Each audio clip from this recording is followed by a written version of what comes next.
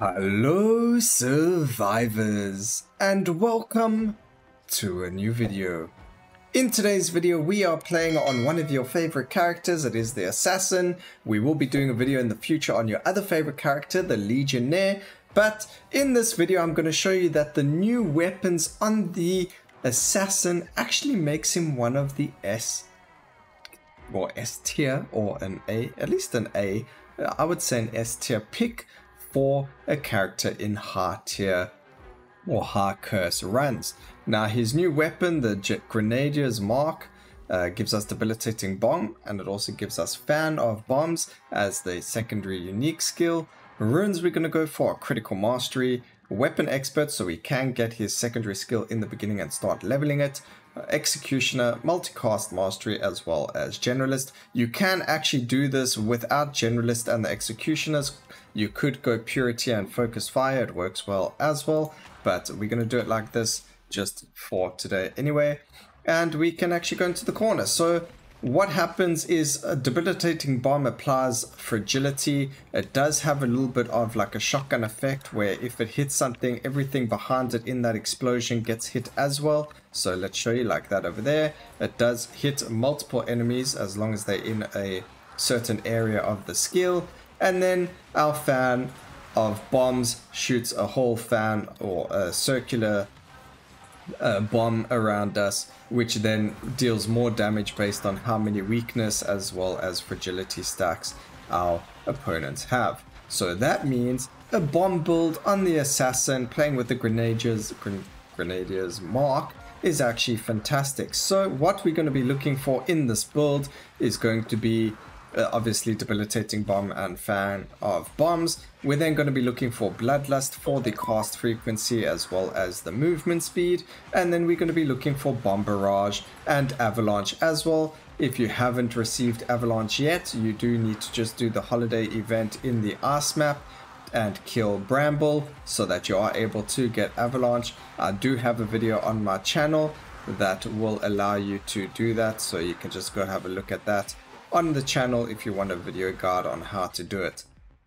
But we're going to get rid of Leviathan. We are going to focus on a lot of cast frequency. They already have a low cast frequency on Debilitating Bomb, but obviously we do want a lot more fragility out there as well as a lot of uh, weakness. So we do want to have that as much as possible. We can go Thunderclap here as well because of the Disoriented. It makes it so that there's an increased chance for critical strikes as well as uh, enemies to take critical damage as well. So Thunderclap, very good. It also has a stun effect. So very, very good there as well. We can get rid of the armor, go there and then a multi chance on the fan of bombs is fantastic. Now the nice thing about fan of bombs is it doesn't remove the fragility effect or the weakness effect. It just deals damage like our subdue where the more stacks you have, the more damage it, the more extra damage it deals. So I really, really like the skills like this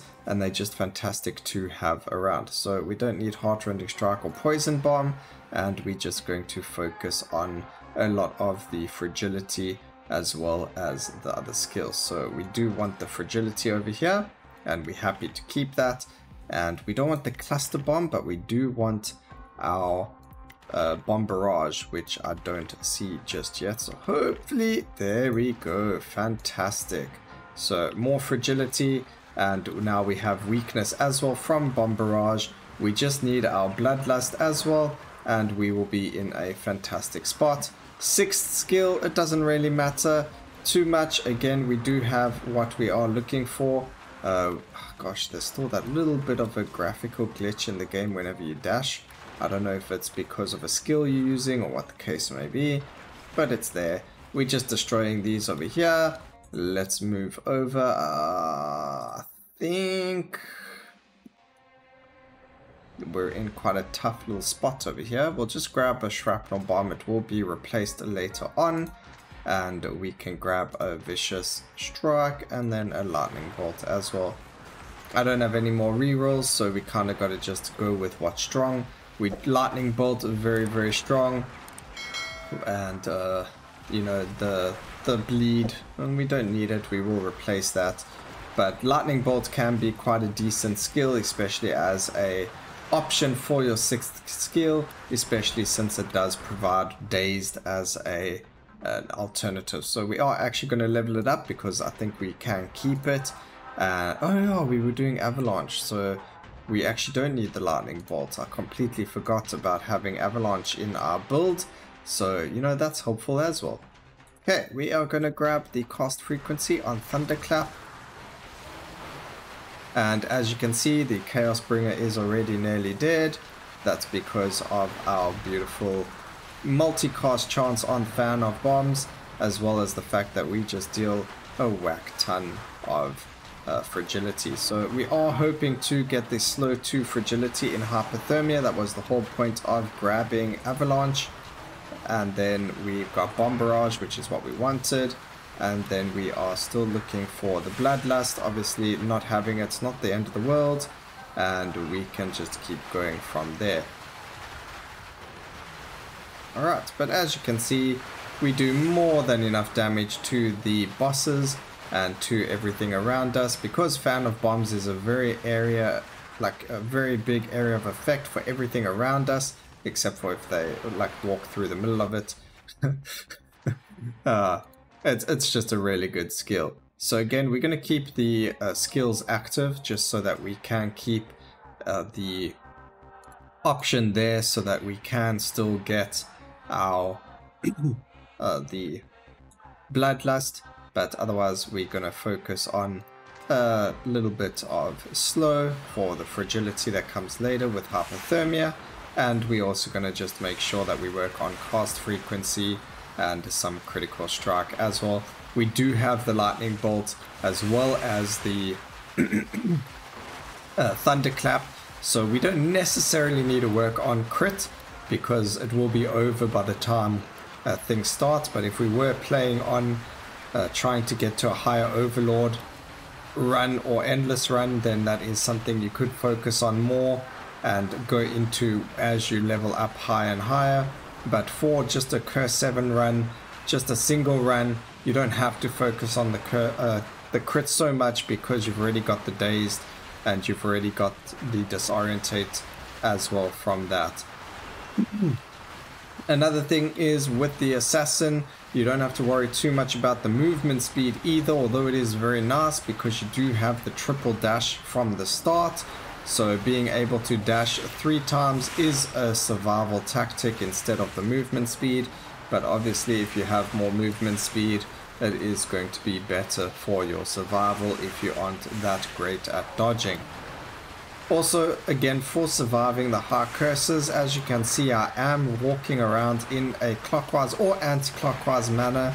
It doesn't matter which one you pick, but even when I dodge, I dodge in a circular pattern around the bosses because we don't want to stand still and hit them. You want to be continuously moving so that when you are uh, in a troublesome spot, you don't have to worry about the moving around too much. Now, do we get rid of Thunderclap? I think we do just because this is more of a melee than the others are so we aren't going to be very close to the bosses and again we did want the bloodlust so we are going to be grabbing that instead. Grab more fragility. We can turn this off now. We did get our bloodlust. So now we can focus on our cast frequency as well as the damage from our different skills. So we do want cast frequency there. So we will lock it in place. And now we've got everything set up. We no longer need the movement speed because the more potency and cast frequency we get, uh, the sooner Bloodlust is going to just give us all the movement speed that we want. So we're not too worried about that, unless it is like a red movement speed and there's nothing better to upgrade with, then we will grab it, but otherwise we're in a very good spot where we don't have to worry too much about the movement speed option in our level ups. Alright, I did want to destroy these towers, but we did get uh, the spawn for all the bosses. As you can see, the pylons or the towers, or whatever you want to call them, do get destroyed very, very quickly, especially when you do hit them with the debilitating bomb, as well as fan of bombs, like immediately they die very, very quickly.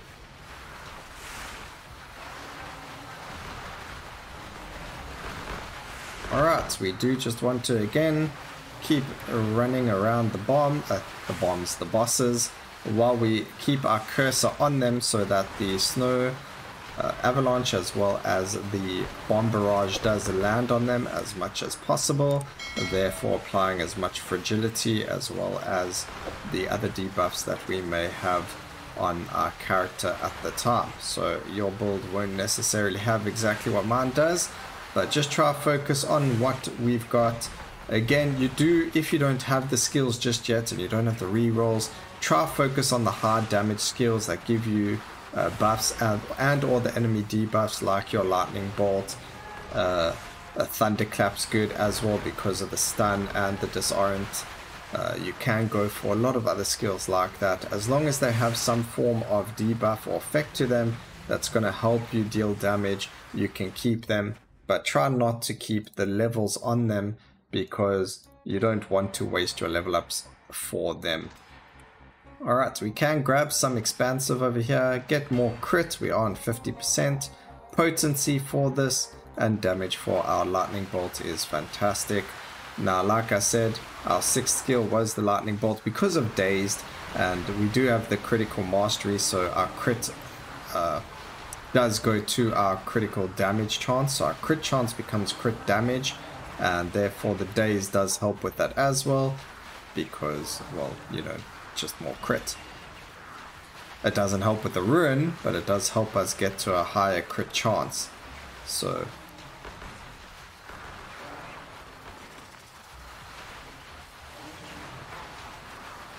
Alright, we do see quite a bit of area of effects on the floor now. Again, you just want to keep dodging around in a circle, keeping a fair distance away from the bosses so that you can dodge their AoEs and that you can dodge all of their, uh, you know, attacks on you, especially like the flamethrower as well as the laser beam that uh, you get from Prophetess. It's just going to help you to survive. Gives you time to pick up all the crystals, running around. It does keep all the enemies as well kind of in a safe space around you as well. And then you can just walk through there, grab a, a couple of levels, get some damage, some doom, some more damage and more crit. So very good spot we're in and we are just dealing tons and tons of damage to everything around us. So just a good example is there that pylon was and there it isn't anymore and obviously the more chance of us providing fragility the more damage we're going to be dealing to everything around us. Another idea could be taking Blade Storm, getting a 2 proc your hypothermia if you could get that going as well. That might be something better for higher level Endless Runs or Overlord where you use the Blade Storm to proc uh, hypothermia and then you'll have the fan of bombs dealing the damage from the stacks of uh, fragility on the enemies. So that is another idea that you could go for. Uh, maybe it's something we can do as well at a later stage just to show you how it would work compared to what we currently have going for us. So just an idea.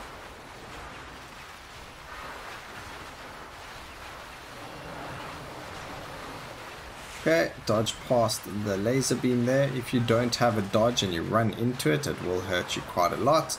We do have a lot of tornadoes around us. That is from the desert elementals that spawn now on the map. It's just an added extra of, uh, you know, destruction and things that we need to dodge. Not a, such a fan of it, but it's okay. It's not the end of the world. We could go kill them.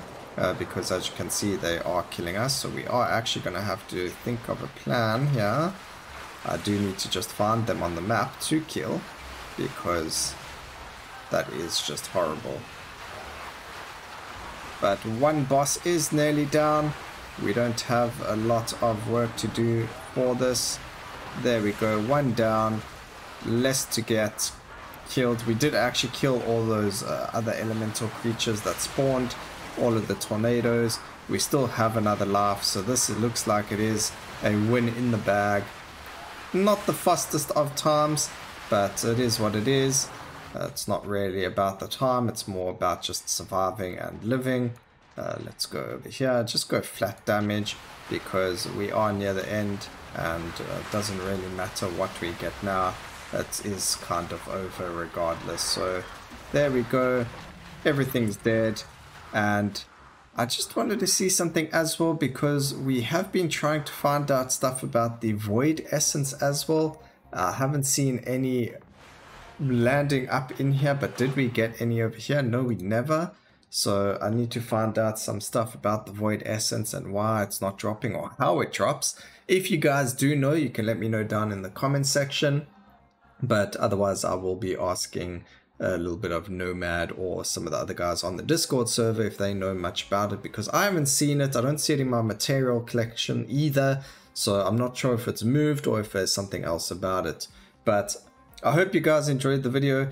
Please remember to like, comment, and subscribe for more videos like this in the future. And as we can see, Found Bombs and Debilitating Bomb, fantastic skills to use. And I hope you all have a great, had a great weekend have a great Sunday, and always remember, keep safe survivors. Until next time, cheers.